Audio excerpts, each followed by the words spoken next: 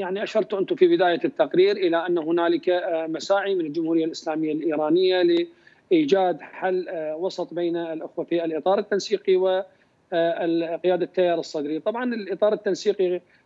من الواضح أنه لن يذهب إلى تشكيل حكومة وكل ما نراه من من مفاوضات هي مفاوضات خجولة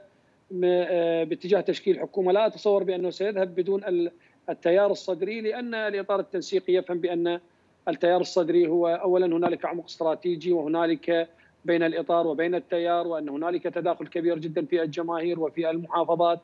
بالتالي اليوم يعني حسب المعلومات المتوفرة لدينا والمؤكدة بأن هنالك مساعي داخل الإطار أو أن هنالك رؤيتان داخل الإطار، الرؤية الأولى تذهب باتجاه تشكيل حكومة تقودها دولة القانون. بمعزل عن اشتراك التيار أو عدم اشتراكه وهنالك رؤية ثانية بقيادة الفتح يديرها الأمين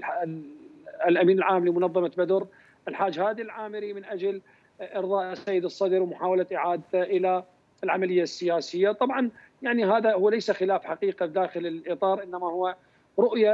يعني بين فريقين وأتصور أن هذه الرؤية في الآخر سوف تتمخض عن اتفاق معين، طبعا هنالك رؤى أخرى سمعنا طرحت خلال أيام من قبل السيد الحكيم من قبل بعض الأخوة هو الذهاب باتجاه إعادة الانتخابات، أتصور أن هذا الرأي الآن خصوصا بعد مبادرة السيد علاوي والمبادرات التي طرحت في هذا المجال أتصور أن هنالك نضوج لهذه الرؤية. لكن أعتقد أن هنالك